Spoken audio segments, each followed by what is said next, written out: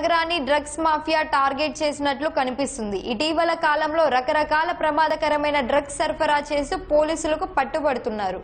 College స్టూడెంట్స్ను యువతను మత్తులో దించే ముఠాలు రోజుకొకటి పుట్టుకొస్తున్నాయి.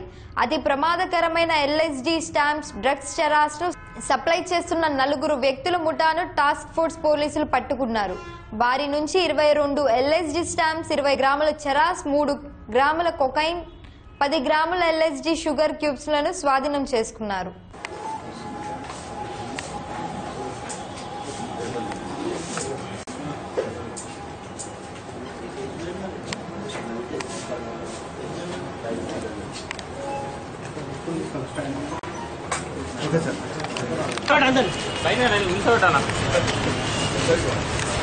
అన్న